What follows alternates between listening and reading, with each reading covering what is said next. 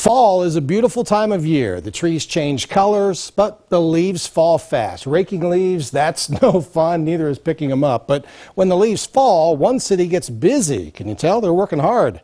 Today I was following the importance of providing this program. Dennis Galvin sits on his riding mower the leaves fall around him. It's not easy keeping up with collecting them. This is about the third time today. It's probably the 50th time this year. That's a lot of work. Canfield commits to cooperating. Residents just have to get the leaves to the street edge. City crews take over from there. It's hard work, but having power equipment helps to take the leaves away. It's important for our residents. Obviously, you see the vast amount of leaves that are around town. They would be required to probably bag those, find somewhere to dispose them.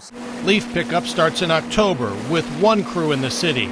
At this point, with the leaves falling fast, it takes two crews to keep up.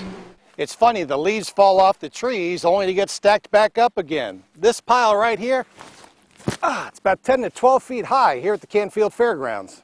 Canfield collects roughly 450 to 500 loads of leaves in the fall. It adds up to 8,500 cubic yards of leaves. They're added to ones from Canfield Township. They hire someone to grind the leaves, and they get recycled into topsoil. Oh, it's a wonderful, it's a wonderful service. We came from Erie, Pennsylvania, and they didn't provide it. We had to pick up our own leaves and burn them or, or find a way to get rid of them. So, Keeping leaves out of storm drains is important since they contain phosphorus and nitrogen, which can hurt water quality.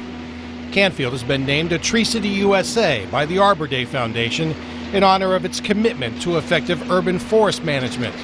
Canfield takes leaf pickup just as seriously. Like everything you see in Canfield, people do it with pride, whether it's you know setting up for the Fourth of July parade or, or participating in the annual leaf collection.